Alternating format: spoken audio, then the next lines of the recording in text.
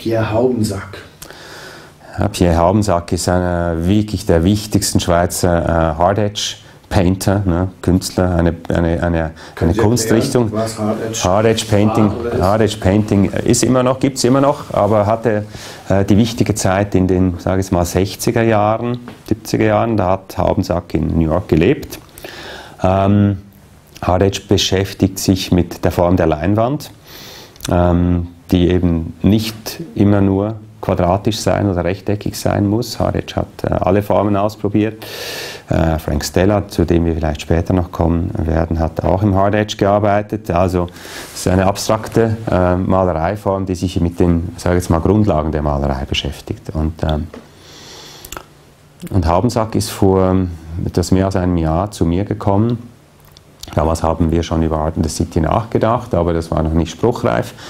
Und er hat gesagt, hör mal zu, Christoph, ich habe hier ähm, ähm, in der Zeitung gelesen, es gibt da an der Turbinenstraße 1214 diese sogenannten richtigen Nagelhäuser, diese, diese beiden Gebäude aus dem 19. Jahrhundert, die ähm, mal abgerissen werden sollen, weil da eine Straße gebaut werden muss.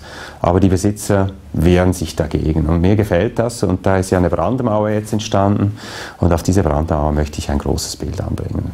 Wir haben dann das lange diskutiert und äh, in der Arbeitsgruppe Kunst im öffentlichen Raum der AG und haben dann ähm, uns dafür entschieden, das, das Projekt zu unterstützen und haben in kürzester Zeit, weil da stand schon ein ein Baugerüst, haben dieses Bild dann zusammen mit Haubensack anbringen lassen.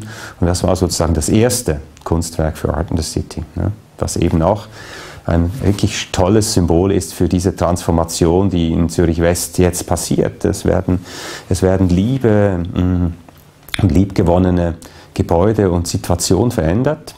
Dafür steht eben dieses Nagelhaus in Anführungsschlusszeichen. Es kommt eine neue Stadt.